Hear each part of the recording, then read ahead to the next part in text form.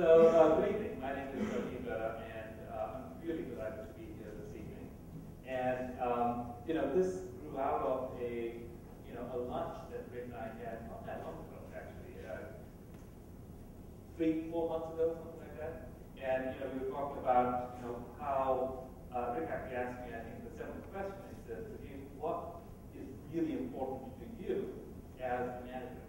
And, you know, what, what have you figured out over all these years of business.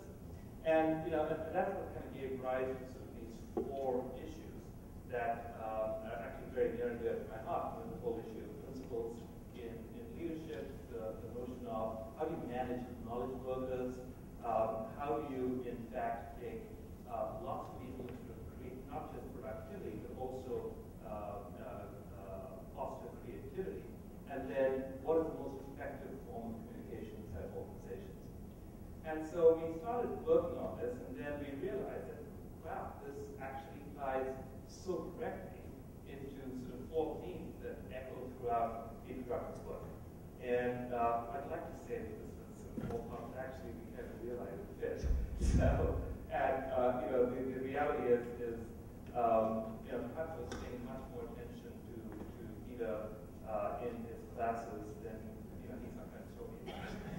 so, um, so I'm, you know, really delighted and honored to um, have an opportunity to welcome Meg, who has, you know, been a colleague and a friend for much more than 10 years now. And uh, I think it's fair to say that she and I have, certainly I've spent more time with the local issues than I've spent with my family for many of those 10 years. um, and, you know, the, the question that I get asked almost always listen, you know, where you've been? What you've been doing? Oh, you must have worked with Whitman. Yes. Um, what's she like? Is, is, is the number one question I get asked. And, um, you know, and the reality is, and you get a chance to, to, to meet her, is she is exactly as she comes across. Um, she is wicked smart. She has an incredible sense of humor. She and I used to you know, have a, a budding wall to a conference room that we used to share. And there were times when I'd have to stop my meeting because of the peals of laughter. Uh, I've never walked into a meeting or walked out of a meeting with Meg without, you know, so some issue that just has literally rolled with all the laughter.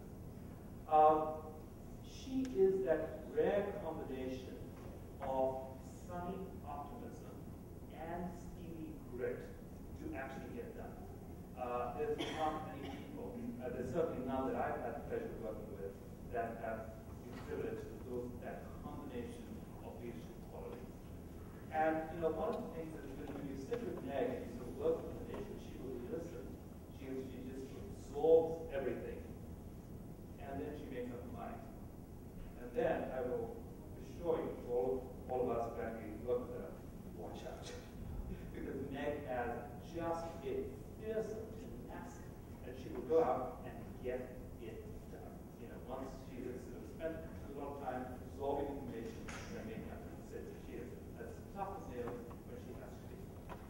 Uh, but much more than this, you know, what I what I really respect, admire, and value is she has this inner core of what I can only call sort of a moral core and a sense of what is right and a sense of what is wrong.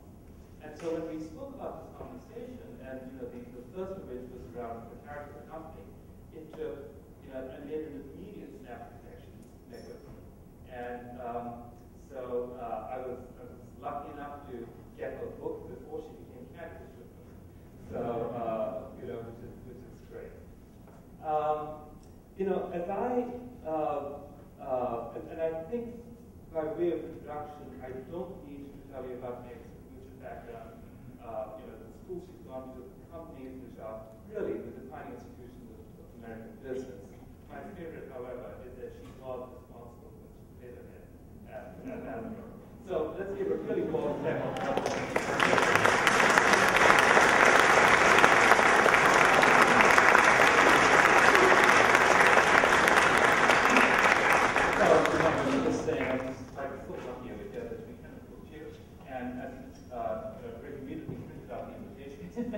you know, as soon as we learned, uh, you're now candidate witness. I know this is not a political meeting, but um, wow.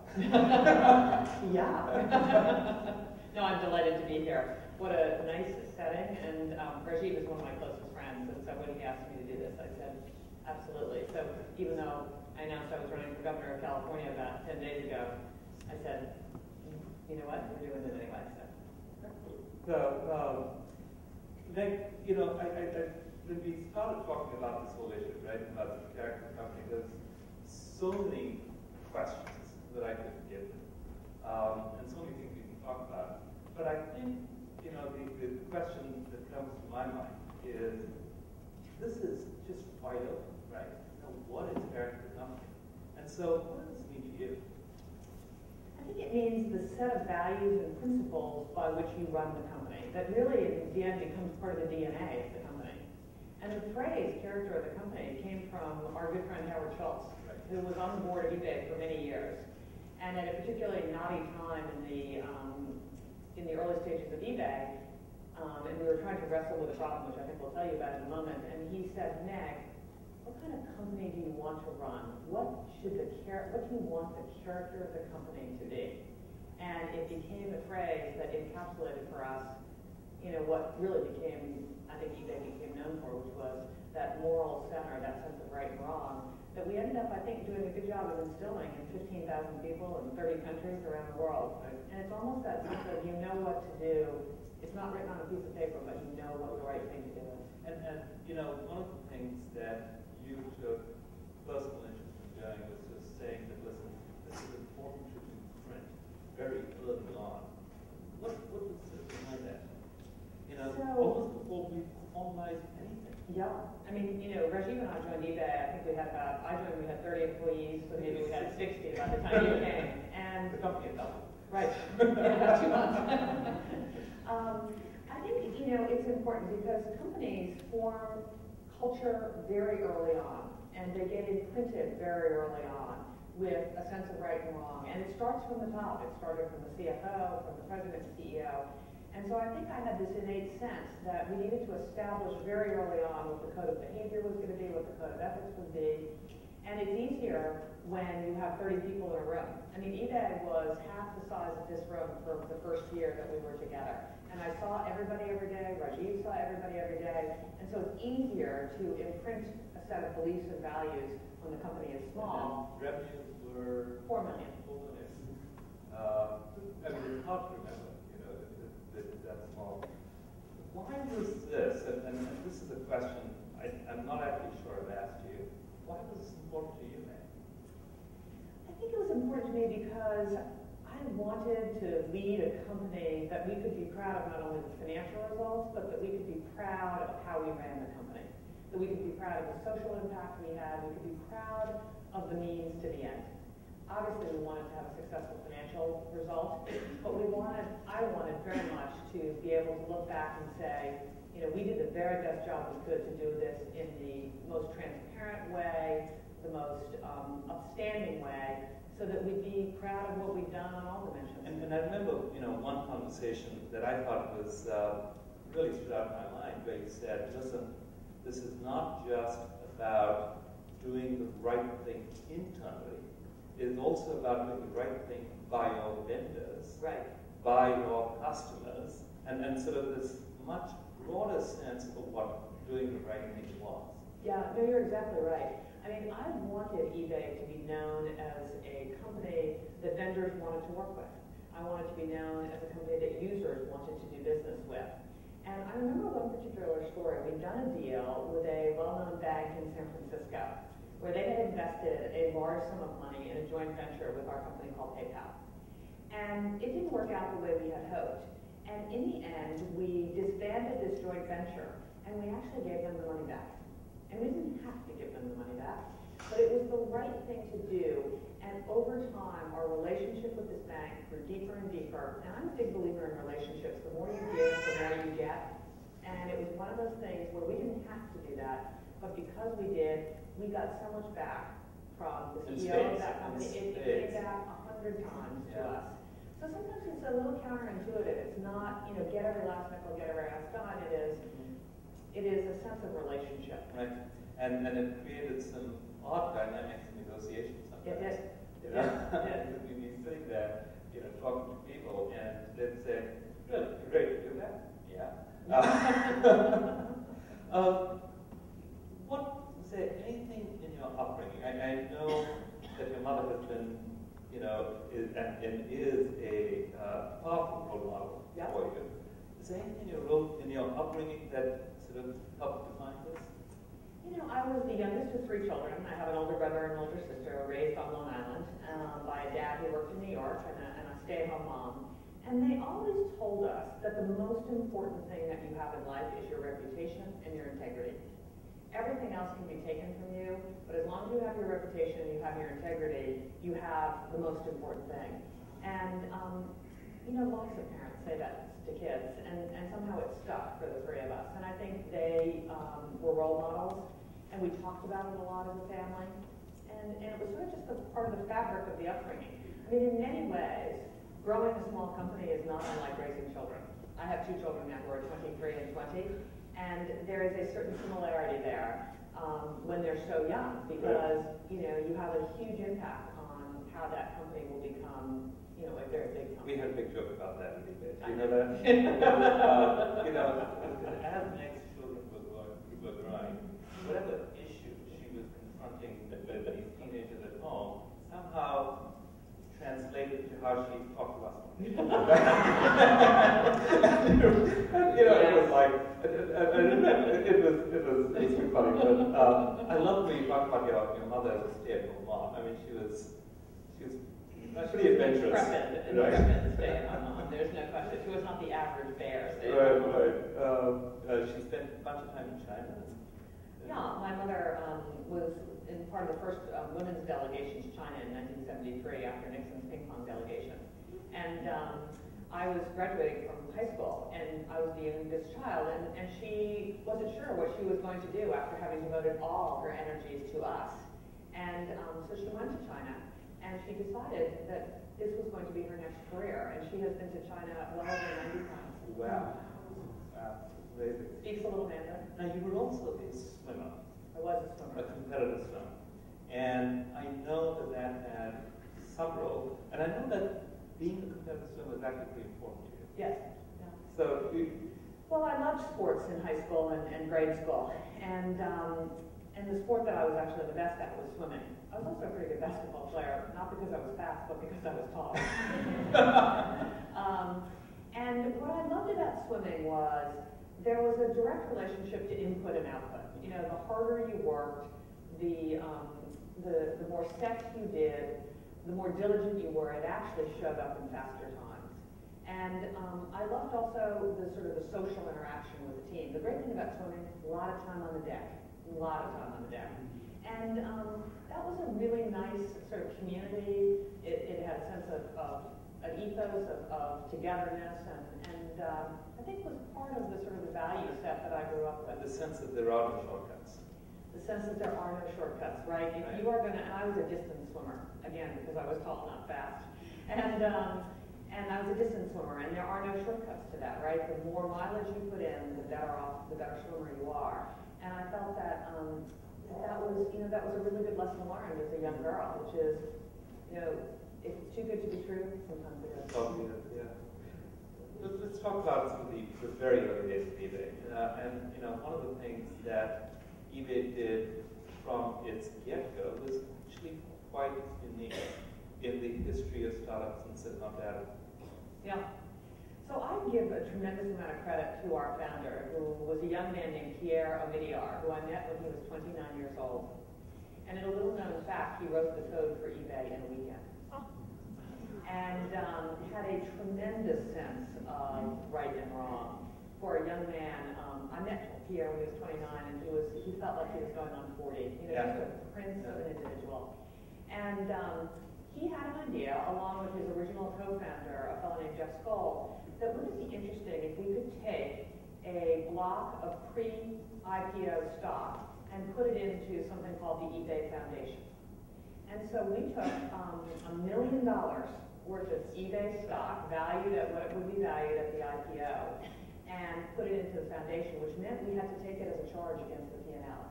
And you'll recall the total revenue for the company was $4 million. So this was an enormous charge, given the scale that we had.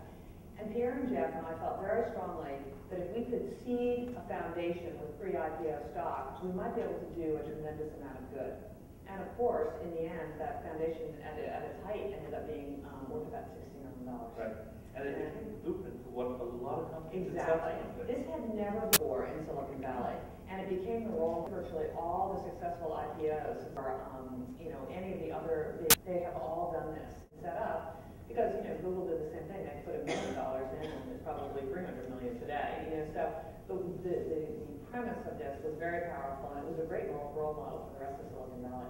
Now, you can see, you come into eBay, you know, 30 people, and, and uh, Pierre and Jeff tell this fabulous story about, you know, when coming into interview, they decided they kind of needed to look a little official, so they hired, hired an assistant to sit up front. And uh, there was this huge hole in the, uh, in, in, in, the, in the wall right behind where he sat. So they quickly got a, a sign carved out of uh, styrofoam, uh, an eBay sign, and stuck it over the hole. And so, so, so I'm just trying to give you a sense. I mean, this is a 2,500, 3,000 square foot entire Oh. I mean, I think the whole office was about half the size of this room. It was about half, half the size of this room. Uh, and on the third floor of, you know, a very modest uh, office building in San Jose. Um, and Meg, of course, is coming, you know, from Boston. Uh, she's coming from a corner office and, you know, probably mahogany and all kinds of good stuff. And so you come over here and you aim to imprint a set of character onto this company. Yeah.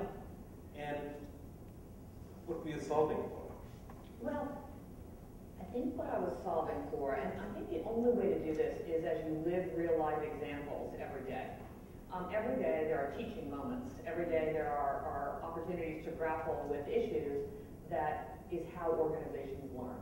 And um, I think one of the early lessons, grappling issues that we had, is it's hard to remember back in 1998, but the internet was much more of a wild and wild, wild west really than it is now. And there was something called the, the Digital Millennium Copyright Act. And what that said was that certain venues like eBay, like AOL, like Yahoo, were not responsible for the content of what was on your site unless you actually looked for what was on your site. And if you took down items that were not legal for sale, all of a sudden you became responsible. I, this was, it defied logic. Well, it didn't follow.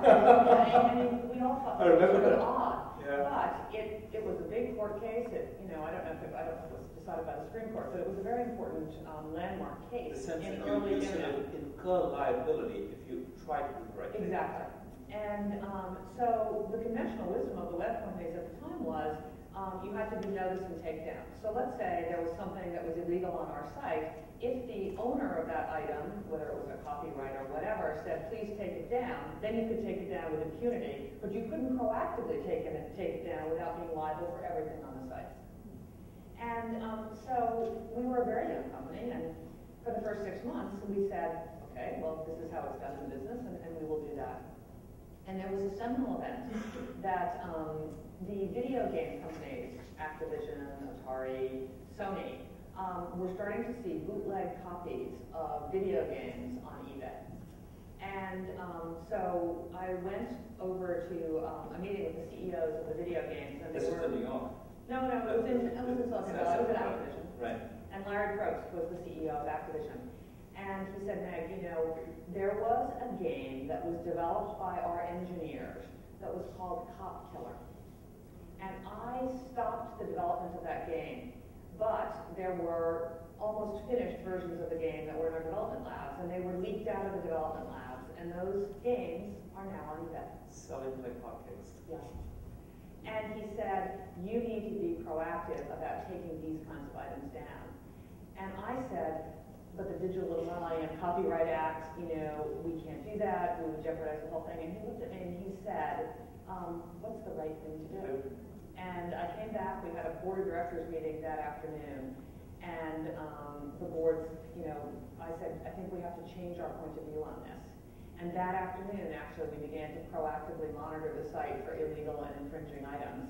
And um, I remember having to go back out to the 40 or 50 people who worked at eBay at the time and say, yesterday we had this point of view. We were abiding by the Digital Millennium Copyright Act, and you are right, we are completely changing our mind, and we are now going to proactively screen the site.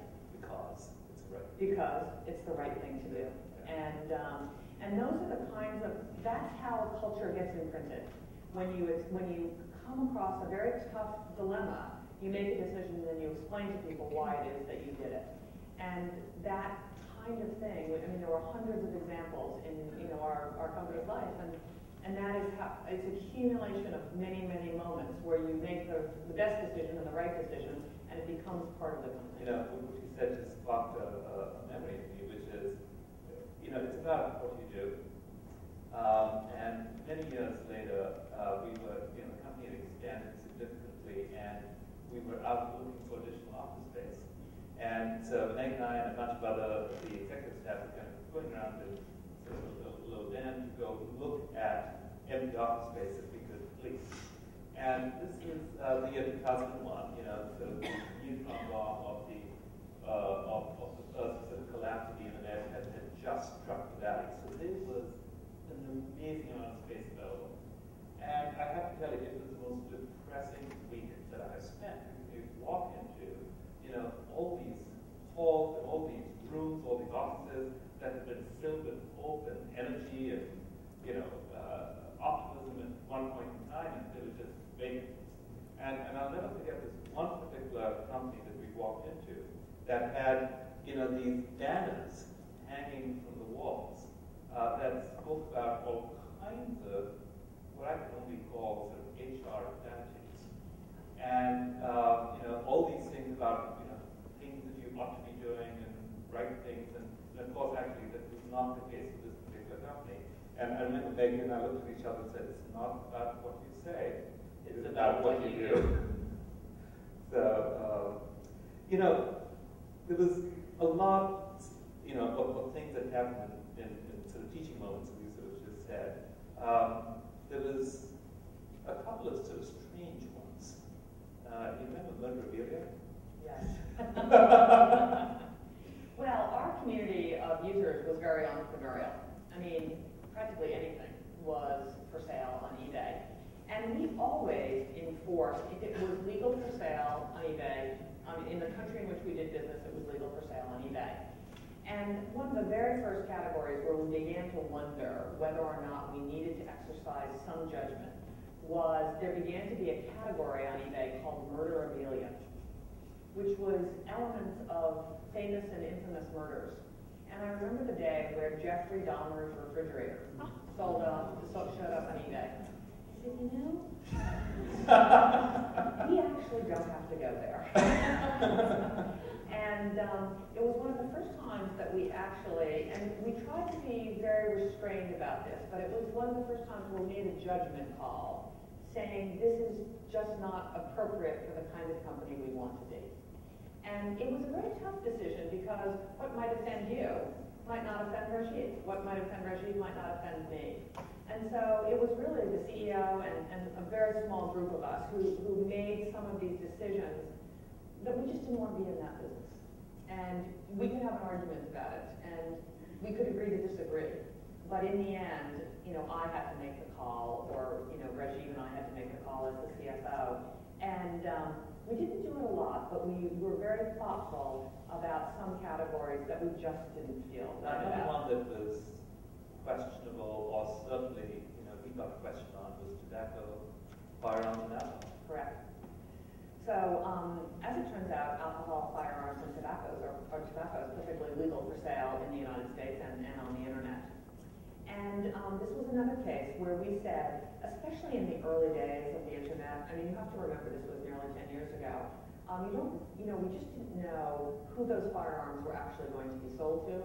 We didn't know whether it would be underage kids who would be buying the alcohol. And frankly, there was a myriad of regulations where it was perfectly legal to sell wine from California to Wisconsin, but not California to Texas.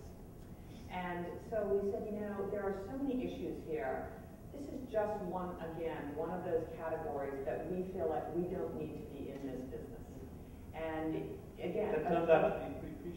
Well, what happened was, so we banned alcohol, firearms, and tobacco, I'm gonna say in January of nineteen I ninety-nine. that sounds right. And um, you might recall that Columbine was in April of 1999.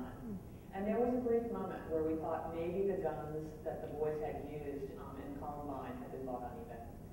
And in fact, they had not. But it re, it sort of, it made us feel like we had made that right decision. And, um, and so that was another case where we made a judgment call about, you know, what, what kind of business we wanted to be in. And very interesting, because this was one that was not necessarily a financially good decision No. at the time. Right. Right? I mean, clearly in hindsight, it was, it was, because it turned out that virus was a very big category. And then we had this awkward issue to sort of figure out at what point did a firearm become a historic firearm? Right. Uh, and I think we we fixed it 1800, Right. you know. And I think we said 1860 or something. Right, and And, um, you know, firearms before 1860 were legal for sale because they were actually antiques. Um, and so, you know, it's interesting when you make these decisions because there's always second order things that you need to consider. But I think it was healthy for the company because we wrestled with these um, with our executive leadership team, and then we explained to our community of users and to our employees why we had made this decision.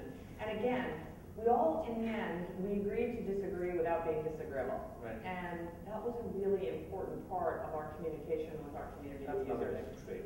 We disagree without being disagreeable. Right. um, you know, you, you, spoke earlier about Howard Schultz, who was the founder of Starbucks, and you know his point about you know the character of the company, and there was So Howard Schultz, um, who is a prince of a guy, I don't know how many of you know him, I mean, he's done a marvelous job with Starbucks. Starbucks has a fantastic character of the company. They're, they've got some challenges now, but they really are a marvelous company. And um, he was on our board for many years. He's a very close friend of both Rajiv and mine. And he came to a board meeting um, after he had just visited Auschwitz. And Howard is Jewish, and he was deeply affected by that visit to Auschwitz. And he came to the board meeting and he said, we have to take every bit of Nazi memorabilia off the site. Now, Nazi memorabilia in the United States is perfectly legal for sale. It is not legal for sale in Germany, France, Italy, the UK. And so Nazi memorabilia was not available, for example, on eBay Germany or eBay. And um, we had a very um, soul-searching discussion about this. Um, and in the end, we decided to ban Nazi memorabilia on eBay. Um, again, just a category that we didn't feel like we needed to be in. It was not appropriate. But it was interesting because there were lots of nuances. So we have a very big collectors community on eBay. There were many World War II veterans who had collected Nazi medals, Nazi helmets that they had been sold as part of collectors on eBay. Um, and so the question was, how did we think about those? You know, what was the right thing to do there? And then you could go all the way to right, was it going to be okay to sell Mein Kampf on eBay? And did you want to be in the business of banning books? And in the end, we actually said we are not going to be in the business of banning books, but we are going to ban all Nazi memorabilia. And again, a judgment call. We could disagree about it, but we just decided it was, it was the right thing to do. And Howard had a very interesting point because, of course, there were a number of people on our staff who felt that there's many other regimes who have done horrible things to people over the years, Pol Pot and, and others. And I said, Howard, how would you think about that? And Howard said, I can't think about it. I can only solve one problem at a time, and this is the problem I'm going to solve today. And it was, it was a sort of a wonderful way to, to think about this, which is I can solve the problems that I see right now in front of me without needing to solve every single thing. the best is the enemy of the good time. Right. Right, right.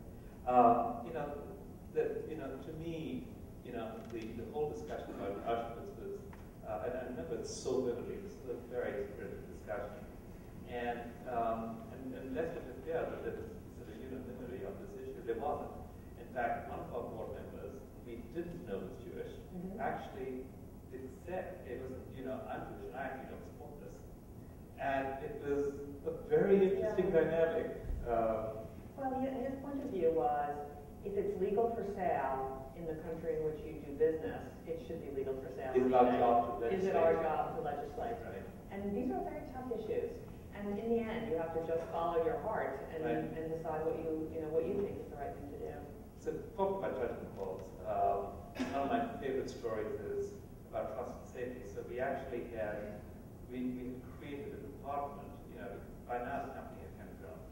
Um, and we realized that we actually needed a of people who just spent time on policy uh, as to what was appropriate, what could be sold, what was legal.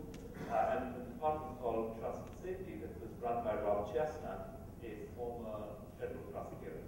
And, and I don't know if you were telling me about this the other day.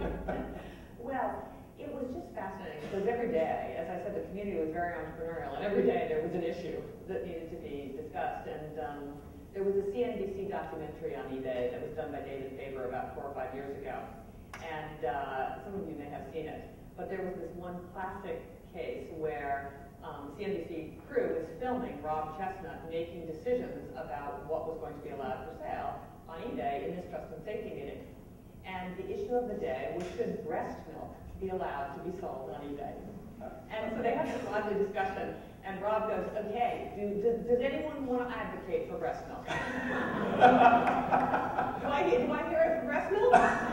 And every one of his, you know, team was like, no, okay, no breast milk. Uh, now, there was one judgment call that united. Um, and this one was uh, when I was running PayPal. And, and the issue was um, should we permit PayPal on adult sites as a method of payment? And I said no. I said no. and, and, and Meg's reasoning, which is very valid, is listen, this is about the brand, this is about the character, and it's about the right thing to do. And my, my um, back to her was, Meg, PayPal is a currency, and you know we cannot actually have currencies that can be used in some places and not others. And uh, so we had a spirited debate, and you let me do what I wanted to do, which was permit PayPal. Yeah. Why? Well, you know, that's a very good question. Why did I let you do that?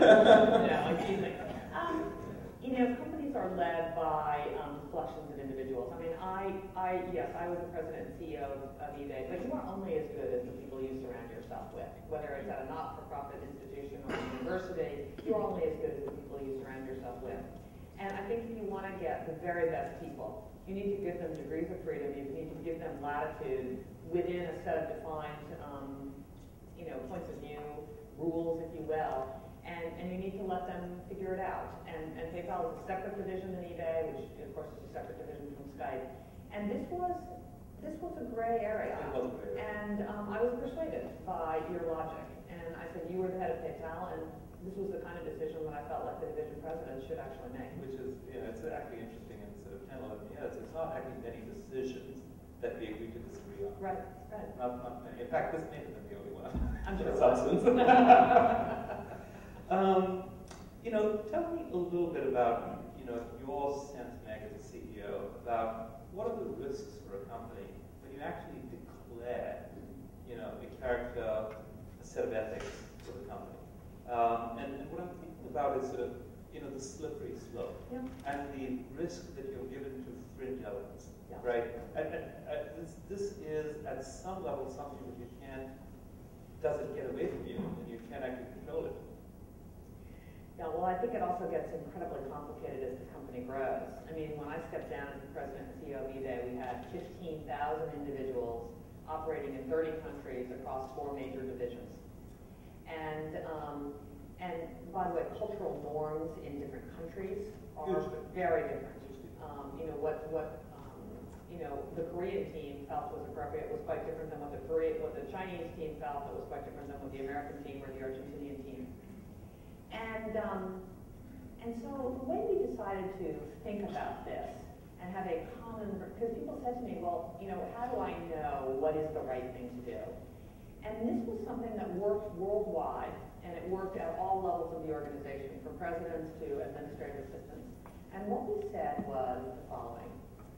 If you are in a room making a decision about an, an ethical or a moral issue for eBay, the eBay family, and your mother was in the room, or your son or daughter was in the room, or your husband or wife was in the room, and they were watching you make that decision, would you be proud to have them watch?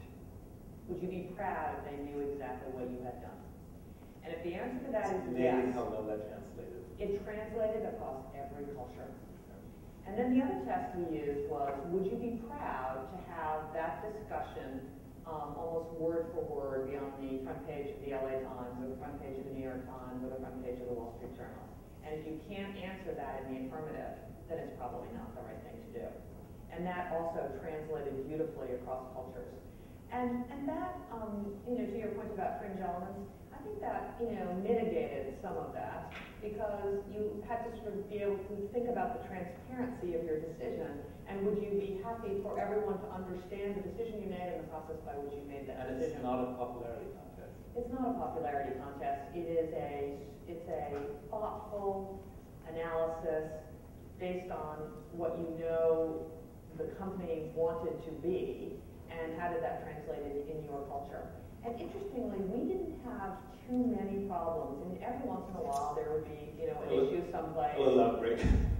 Um, but it was amazing how that ethos translated throughout the whole country, company, and, and 15,000 people actually understood this. And, and so the record was not 100%, but I think for a company, you know, by the time I left, eBay had $8 billion in revenue. And, um, and it, it worked remarkably well as the company scaled. scale. Um, you know, as you think about Meg, sort of character of the company and the brand of the company, how, how do those interact and interrelate in your mind? Is it the same are, thing? it's almost the same thing, because the brand of the company that, that is facing consumers has to embody the key elements of the DNA of the company. And you can't have a brand that is different from how you run the company. And there was a really interesting discussion I had with the founder of eBay. He said, there's a set of values that works in the eBay community. Things like people are basically good, give other people the benefit of the doubt. And if we run internally differently than the community runs, there will be a dichotomy that will be immediately obvious to the customers. And so we have to, as the management team, adopt the values that are at work at the eBay community. And if they are not a direct overlap, there will be inconsistencies that will be immediately obvious. Remarkably uh, mature, actually, I think, for these young founders. This whole notion that there are many companies uh, that actually do have this dichotomy. Right. And, and how you can feel it as a consumer is they don't come across as authentic. Right, right. And, and when you can feel that authenticity, you actually know that that must pervade its, you know, the core of the company. Exactly.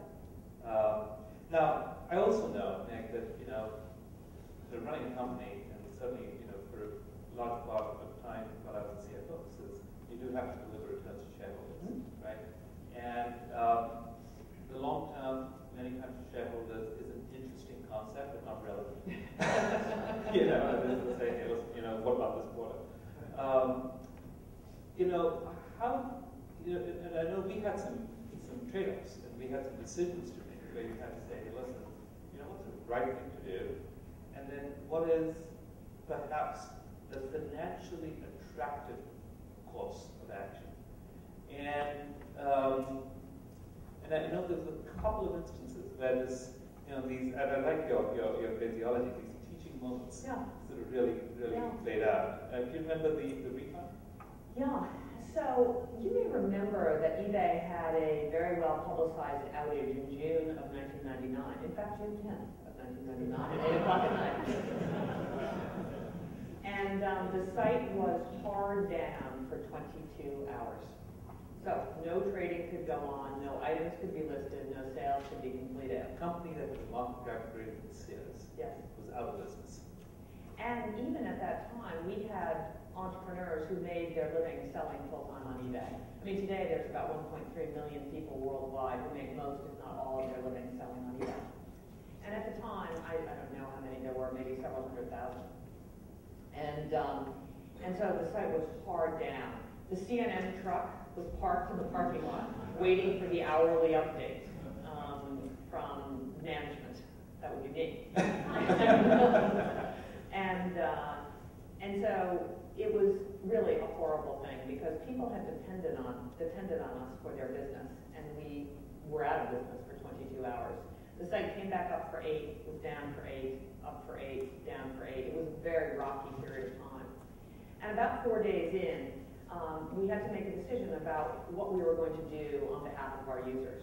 And the, the rules that were, were in the user agreement was that we would refund those listing fees for those sellers whose items were, were actually scheduled to close during the outage.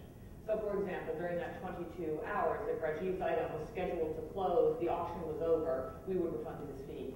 But, but not if the site was down, and my auction had closed at its regular. Correct. And Right. the site So come back If the, on, if the right? site was back on and your auction closed as scheduled, then you Even did though I missed a window of, then you technically did not get a refund. And, um, we sat as an executive team and we said, what is the right thing to do by our users? We have let our users down. And we made a decision in probably five or six minutes. I remember it a little differently. Okay. So, so uh, we had our head of IR, Right. and we had the whole investor relations team that were on whiteboard, uh, calculating what the cost of this refund was going to be. Mm. Um, and uh, I was like a finance weed at that point. I don't think I was a CFO. Yeah, you're the director of finance. the director of finance. And, um, and we calculated that this was going to be twenty million dollars. Uh, you know, and just, I, I cannot explain to you, you know, how PayPal facilities and just reiterated through stories and anecdotes what we expected. And I think it had um, a big effect on people, actually. Um, and again, you, you will never know, right? You will never know what could have happened if you hadn't done this. And, uh, and so I think it was a really good thing to do. And again, we're sort of, you know, imprinting on the company sort of the DNA of what we hoped we would be then- when- as we grew up. repeating everywhere, you know, so many of the things you've said here this evening, which is, you know, guys, problems don't improve with age, bring them up. You know, it, I'd much rather know about it than read about it. Exactly. Um, what's your sense, Meg, if you look out at industry and business today, is sort of principles and values of running a company, is it eroding, is it getting better? What's, what's your sense of it? You know, it has been discouraging, I think, as a, as a former CEO and a leader in business, and, and I bet you feel this way as well. Mean, as you think about Enron and WorldCom and, and all the issues that have happened, and then you move on to, you know, the banking scandals and what has happened to the financial markets. It's easy to sort of lose hope, I think, and, and lose faith in American business and in our leaders. And then I think through all the people I know and respect and admire who are doing wonderful things with their companies, whether it's an A.G. Lafley, who I think you know very well at Procter & Gamble, or Jeff Immelt at GE. And so the, the bad actors and the questionable judgment gets all the press. Um, but the rock solid, day in day out, people building really great companies that are servicing their customers and, and taking great care of their employees, um, I think it's easy to forget sometimes. And, and I do think America has, in the end, transparency works. And in the end, you know, things come to light. And we are a remarkably resilient culture. I think we're a remarkably resilient financial system. We're going to find out. but um, I have great optimism. But there are times when it's very discouraging. And um, it's, it's, you know, you just feel badly about it. Right. But in the end, I think the good way outweigh the bad. I believe people are basically good. And that doesn't mean everyone is basically good. It doesn't mean that there are, aren't bad actors. There are. It doesn't mean that judgments are always made in the best possible way.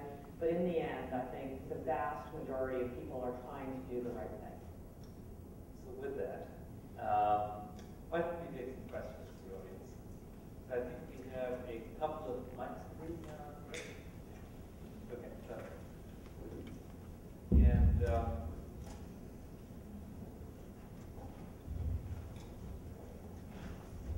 Thank you very much for coming tonight. Um, I had a question uh, for you, Mr. Whitman, uh, that has to do with the difference between management and leadership. You are one of uh, very few individuals in this world who are credited as being business leaders, not just great managers. What do you think uh, distinguishes between great man or great leadership and simply great management?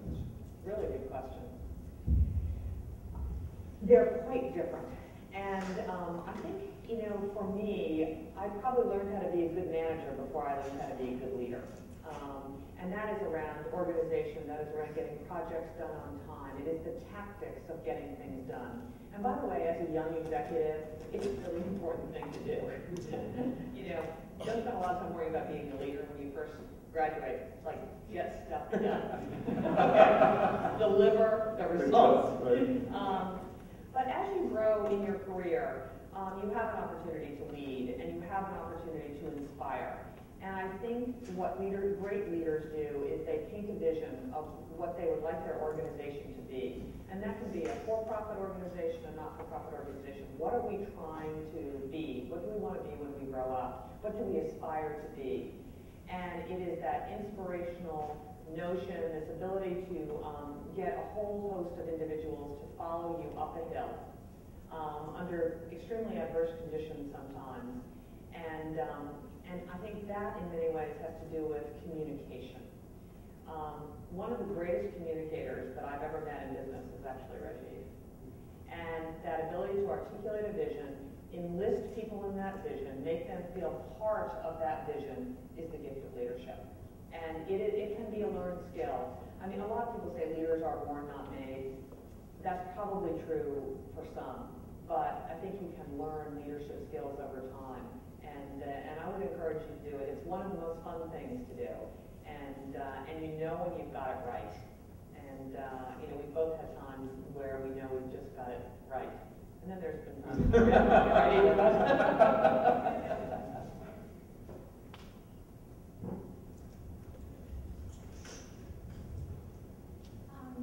My focus is on empowering high school girls on entrepreneurship and leadership. Now, we're very lucky in the United States that we have a lot of women like yourselves leaders and organizations that can be role models. If you go to my other uh, vision is to work with girls in Afghanistan, girls in Yeah.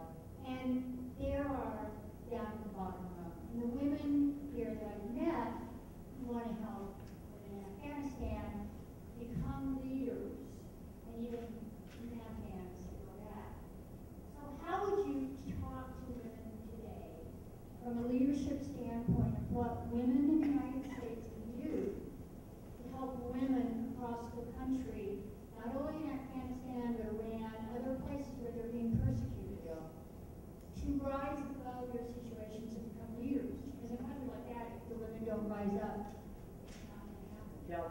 so how, and they're dealing with these issues, so what, what would you say to help young women in this audience think, what can I do? Yeah. How can I do to help other women in the world? Well, I appreciate that question. And um, I think the, the way I have thought about this, and, and it is not the perfect answer, is um, first, I like to think about what we can do right here in the United States to help women aspire to fulfill their full potential. And I think actually role models are a really important aspect of this. And um, it's very interesting. I have a friend here whose name is Pattie Sellers, who um, works for Fortune magazine. And she runs something called the Most Powerful Women in Business Summit. And in the early days, um, I was a little, I had some misgivings about did I want to be on the most powerful women in business list or did I just want to be a good CEO?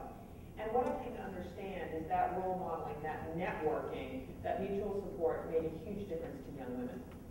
And, um, and, and I saw that through Pattie's conference. Um, so I think role models, role models are incredibly important. With regard to cultures outside the United States, and I don't know that this is perfectly relevant in Afghanistan, but um, there's a number of, you know, microfinance may have made some of the biggest difference in terms of women standing in community from Africa to Latin America to, you know, Kazakhstan to all over the world. because it is often women who are the entrepreneurs who are starting businesses in their communities.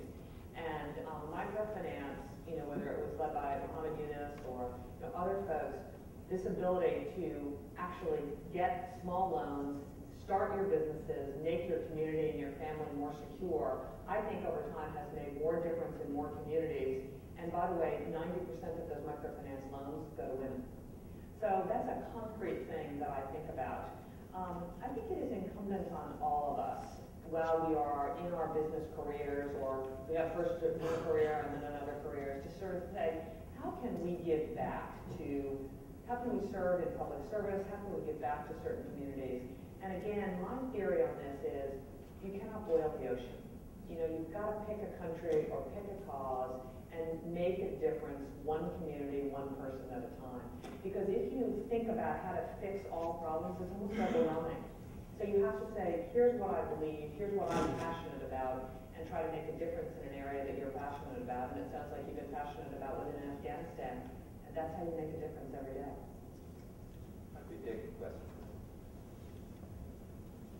Oh, side here. Yeah. Thank you both very much for coming and talking to us. Um, my question is regarding management of a corporation versus shareholder interests.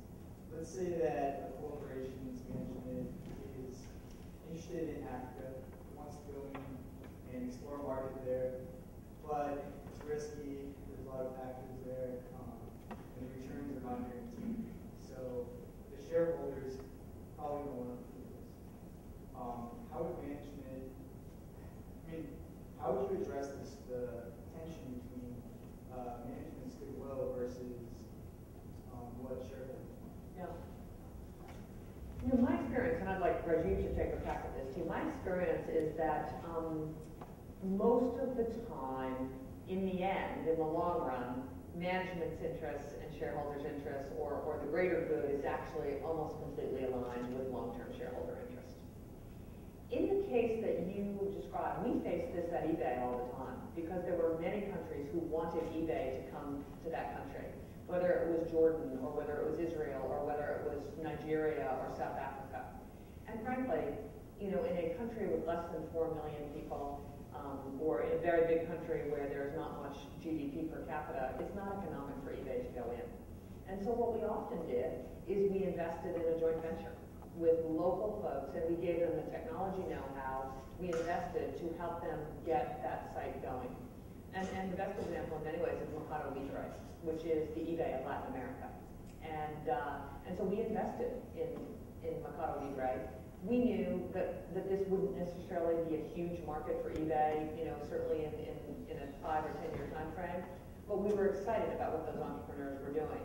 So we invited them to our trust and safety meetings. We invited them to our strategy meetings. We gave them as much know-how as we could for our, the 30% investment. And in the end, they have done a fantastic job there. I like to think we have little impact on how well they did, but there's ways to do it that are, you know, responsibly fiscally responsible to your shareholders, but also can help bring an eBay or a PayPal to a less developed country that wouldn't necessarily be on your product roadmap. I mean, frankly, you know, Chile and, um, you know, Bolivia and, and some of the countries there would, I mean, by the time we developed an eBay site, it would be 2025. And so we were able to get there faster because of that. No, I, I, I actually completely echo what you said. You know, the, the one other sort of way in which we dealt with this is if there is unanimity amongst management that it's the right thing to do, then it probably is the right thing to do for the company and therefore the shareholders over the long term. But you very often find that that's not actually the case, that there is a couple of individuals that are very passionate about a cause. And, you know, there's nothing wrong with the cause, it's just not central to the business strategy of the company at that point in time. And, you know, what we did is very often we would actually empower those individuals. Um, so Guatemala is, is a great example where we actually had an individual who is very passionate about um, you know, helping the people of Guatemala actually trade and sell on eBay. Uh, I have a particular interest in developing nations, including India and Bangladesh, and helping them trade on eBay. And actually what we did is I stayed, you know, my Friday lunch hour, and I'd meet with a bunch of people work with outside nonprofits and help them accomplish what was important to me, not necessarily strategically relevant to the company at that point in time. Uh, Nick has a great line, you know, strategy is not the art of pursuing everything, it's the art of saying no, right? So you've got to prioritize, to do what's important. It doesn't mean you then great cause. You can find, I think, um, practical, elegant solutions that can actually accomplish I mean, this is particularly challenging for young companies because eBay, when I came to eBay, eBay was growing seventy percent compound monthly growth rate. Meaning, I joined in January, in February, the company was seventy percent bigger than it was in January. And we didn't have very many people. And this notion of focus, focus, focus, how do we do a small number of things very well, was incredibly important in terms of our, our ability to be successful. So we often said strategy was the art of exclusion, um, you know, not the art of inclusion. And uh, so you have to be careful. But as you get bigger, you have lots more degrees of freedom. I mean, we have funded a microplace lending site that uh, fo- folks at PayPal were, were passionate about. We've um, funded something called the World of Good, which is trying to connect um, entrepreneurs in developing countries to, to global marketplaces. So when you get bigger, you have lots more degrees of freedom. And in the last three or four years, we've had you know far more ability to do sort of side projects that were you know in the grand scheme of things you know may not make a difference financially, but are the right thing. But interestingly, if you had we pursued the money on, you would not have had the luxury. you Yeah, know, exactly. In some way, but, you know, down the road. Get one right there, there.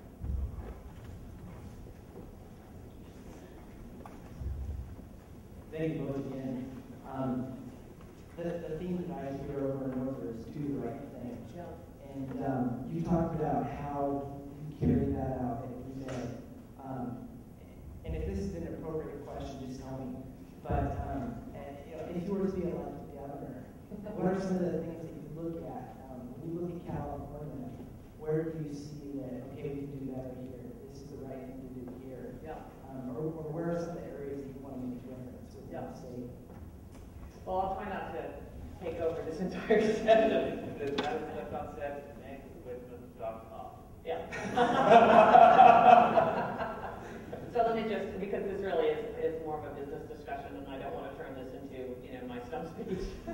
But, um, but as, as everyone in this room knows, California faces enormous challenges, enormous challenges. Our unemployment rate is nine point three percent, the third or fourth highest in the nation. Our government is effectively bankrupt. Our children are not being properly educated. Our K-12 education system is ranked 47 out of 50 states. Um, you know, the middle class is being taxed out of existence in California. Businesses can't afford to stay here and grow here anymore. And so what my focus has been and will be on, on trying to help California have a renaissance, if you will, is first and foremost, how do we, number one, how do we create more jobs in California? Because if we don't get an economy here that is healthy, that is creating jobs, where we are growing our economy, you cannot cut your way to greatness here.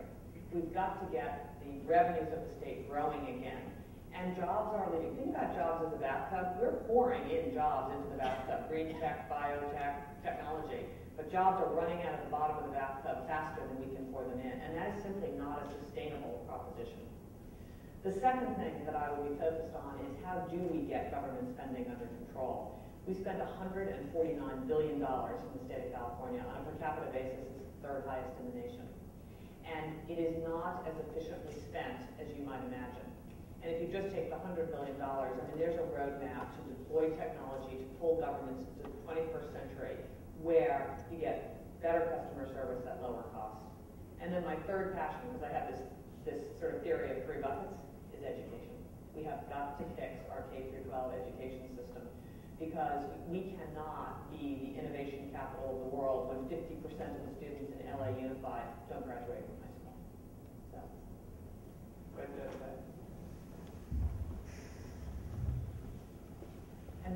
fellow in the, in the Sorry.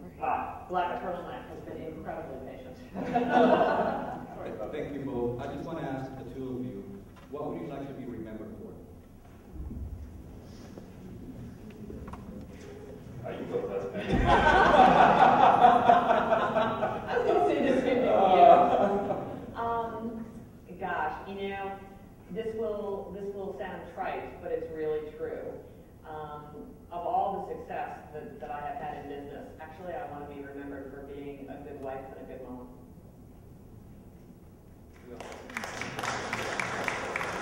It is the most important thing. It is honestly the most important thing. The rest of this is all gravy. Yeah. What would you say?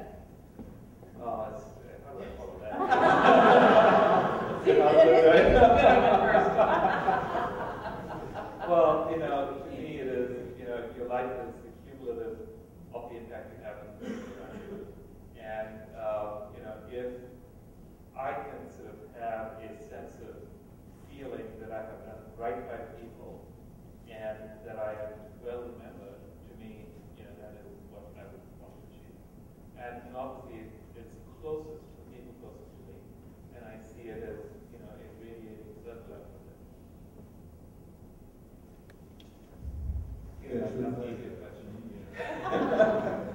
Um, I have one, one main question actually too, and that is, I'm curious, and and Priscilla, if you could sit down and spend an afternoon with three or four people, doesn't doesn't matter who, where, when, what the time is, who those three, four people would be, and who has been most influential in your life, it could be somebody you've read. I'm curious about that.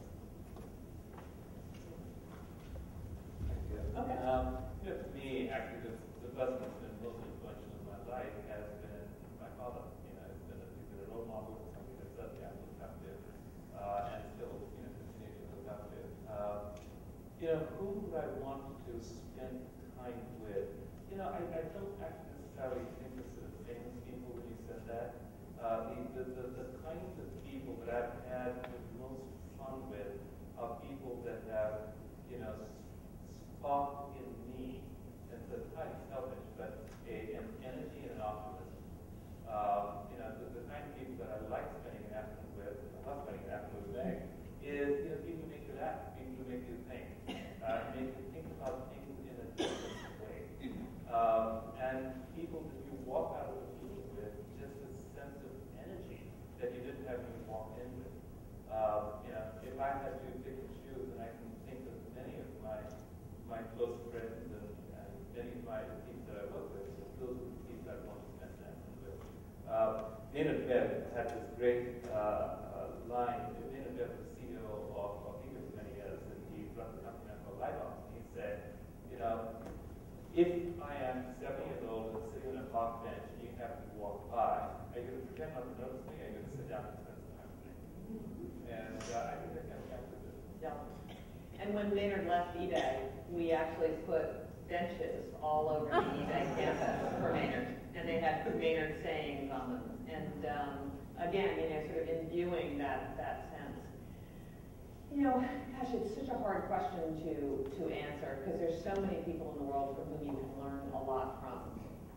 And, um, and I think it depends on your stage of life. Right now, because, you know, I am embarked on this, um, you know, new next stage of my public service career, I, um, you know, hunger to sit with people who have, you know, run for governor or, you know, been president of the United States or have made a real difference. So I have enjoyed um, so much time spending, uh, time spending with Pete Wilson, who was a governor of California, who faced a very similar budget situation than we feel, than we, that we face now. And um, got his wisdom, his thoughtfulness have been inspirational to me because I'm at that stage of life. There have been times where I have completely enjoyed sitting with Warren Buffett, who I know quite well. And he is a prince of an individual, and you know his sense of humor, his just ability to get to the heart of any issue, his ability to be so thoughtful about how to think about investing, you know, was particularly interesting at, at another point in my career. Um, I actually love spending time with my husband, and he is a neurosurgeon. And what has been wonderful about, we will be married, um, you know, 29 years in June, is that he knows a lot more about business than he would ever have known. And I know a whole lot more about medicine than I would ever have known. And I know a lot about brain tumors now. And, you know, like who knew? And, uh, and, and that makes life fun and interesting. And, and I've met, you know, people that I never would have met had I not been married to him. And, and that's, that's provided a richness. So you never know who you're going to meet along the way that will provide a richness and a, and a sense of enlightenment that you never you never dreamed of. Meg, um, I'm going to take this opportunity now to thank you Mm-hmm. on behalf of off colleges and coming over here. It was very gracious of you to spend the time. Uh, I've certainly had a lot of fun having you over here. It's been great. Wow. And um, I also wanted to thank uh, you know the folks at the Drucker Institute. Uh, I want to thank Ira and Bob uh, for having helped organize this. You know, Ira sort of asked you to come and spend time over here. Um, uh, around the time that I was sort of deciding to, to, to sort of take the next take some time off from eBay. And uh, Rick, who runs the institute, been just sort of really helping organize and, um, and, and put this event together. And all the great folks at the Drucker Institute, uh, you know, Zach, Christine Johnson, and Jenny. So thank you everyone, and thank you all uh, for coming. We really enjoyed this, and uh, I look forward to seeing you next time. and before we, um, we close this out, you are very lucky to have Rajiv as one of the alumni of the Graduate School of Business here. I've worked with many, many individuals over now, over a thirty-year career in business. And, um, Rajiv is one of those incredibly special people who I look forward to seeing every single day. We solved incredibly hard problems. So you will walk past the cockpit. I would not. and uh, he's a prince of a guy. He's got you know a fabulous set of values and, and a vision. And I think it's one of the great executives in America. So it's a privilege to be here with you. So.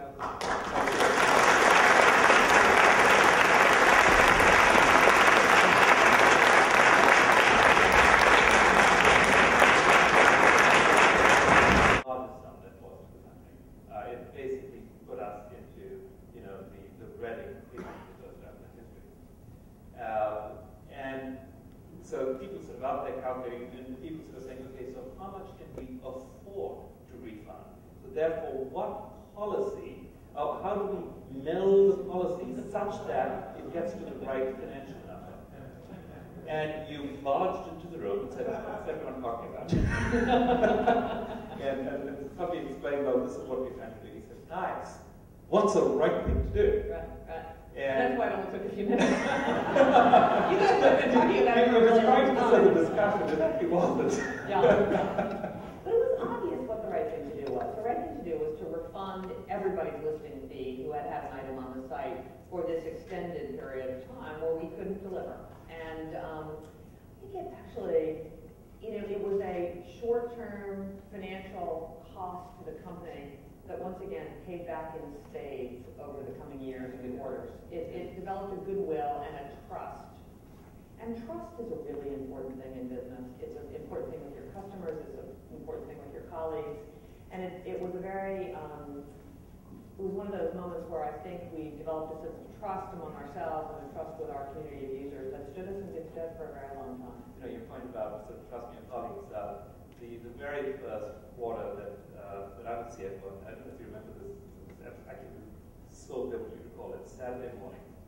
And we had discovered um, a potential issue that would have required a very large breakdown uh, in the company. And it's like, oh God, this, this after happened in my first quarter this year. uh, uh, you know, it was spelled disaster. And basically, it meant the guidance uh, that we had given the street was, you know, we weren't going to So we kind of go through everything, and um, I called Meg up, and I said, Meg, here's the issue. I said, we need to take this, potentially this very large breakdown. And so here's what's going on. And so she says, you know, she, she asked me a couple questions. She said, okay, you know, explain this to me. And she sort of drilled a little bit. And she said, okay, should I do? Do what's right. And hung up. Uh, it had such a powerful impression. I, I don't know if you, if, if you, if you realize what a powerful impression it had on me. And in some ways, I credit that conversation with keeping us, you know, out of all the, the financial issues that seemed to affect so many of the companies, Yeah. you know, at, at our time. I mean, we had, you know, a number of SEC investigations going on around companies left, right, and center. Never, never- never never actually had that at eBay. Uh, but that was very, very powerful. I think, you know, I, I remember that now. Um, and I think probably what it did, it gave you confidence and it gave your finance team confidence to bring problems forward. Right. Because you can't solve problems unless you know about them. And, um, and so I think that gave the finance team worldwide the courage, if there was a problem that was uncovered, um, either, you know, by error or by, you know, someone who was a bad actor, it surfaced really fast. And, um, you know, problems don't get better with age, they're not like wine. That's- I would know that. They, um, the sooner you know, the better off you are. And, um, you know, we figured we would survive. I mean, I, yeah, I remember when you I said, okay, this is not gonna be good, but it is what it is, and we have to, we have to face up to it, we have to do the right thing. Then that we discovered, uh, Yeah. that the